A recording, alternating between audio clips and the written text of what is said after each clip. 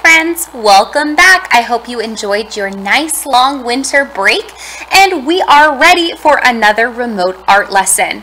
For this week, we are going to create a night sky and not just any night sky. We are going to create the Aurora Borealis.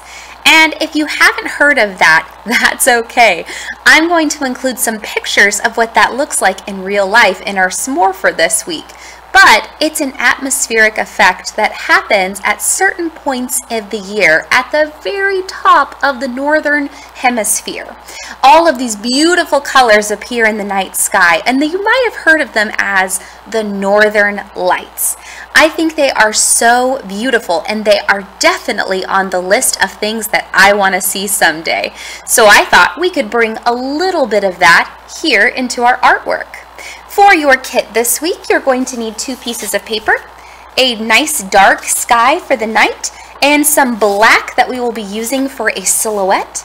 You're also going to need some scissors, glue, and some sidewalk chalk. If you don't have any sidewalk chalk, that's okay. Don't stress, okay? We'll figure it out together. You can use crayons, you can use pencils, whatever you have at home is going to work and it's going to be beautiful. But let's get started.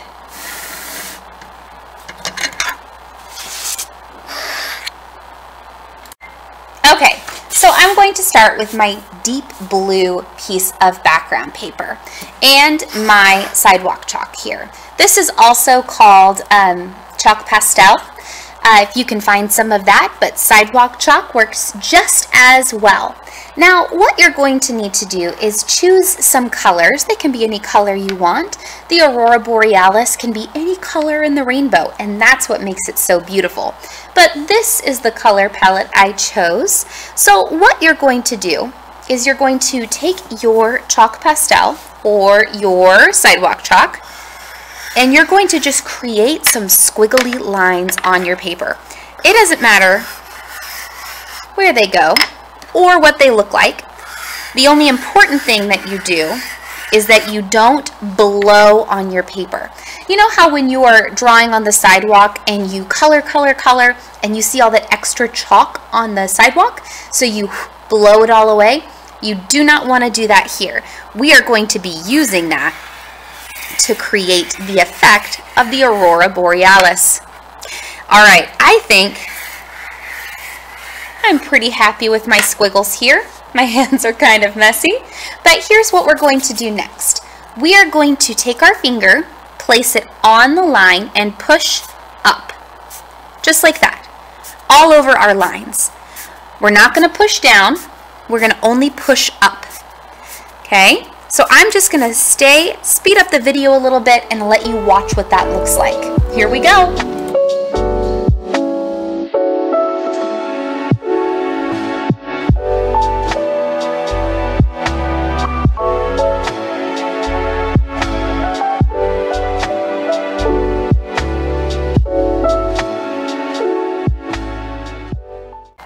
Okay, so I have finished smudging all my chalk lines and I've created this beautiful blending color on our paper. And this actually looks pretty close to what the Aurora Borealis looks like in real life, which you can see in the pictures on our Smore page. Now it's time to create a landscape. So we're going to use some black paper and we are going to cut out some hills, maybe, or some trees, or whatever you want. But we're going to create the land for down here.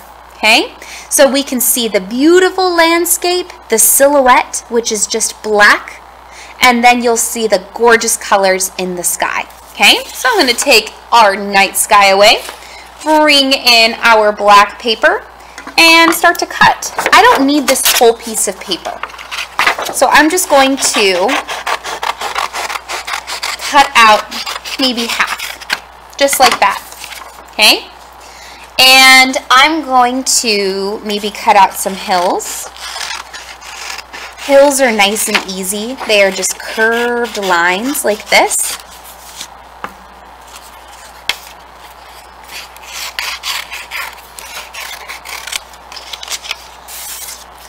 cut out more than one so I can overlap them. Now, if I want to get a little bit more complicated, what I could do, I'm cut one big hill here, is I could create some trees. Simple trees are triangles. Remember, as artists, we want to take complicated shapes and make them simple. So I could cut out some triangles like this, and those will look absolutely beautiful. Or if you want to get a little bit more detailed, you could take one of your triangles and cut out kind of like um, a Christmas tree. It's a pine tree. And the northern hemisphere, way, way, way, way up, where you would see the aurora borealis, you see a lot of pine trees.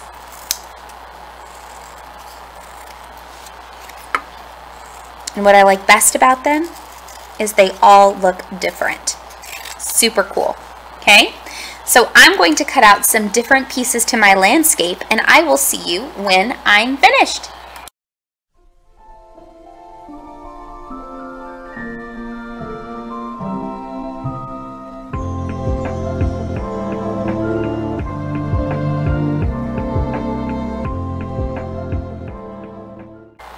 Okay, I think that I have created enough pieces of my landscape.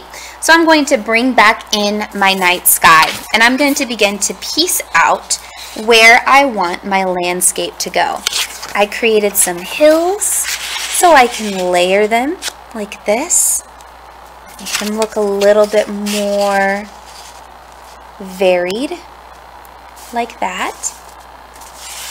And I can also add in my trees you know, I think I like it just like this.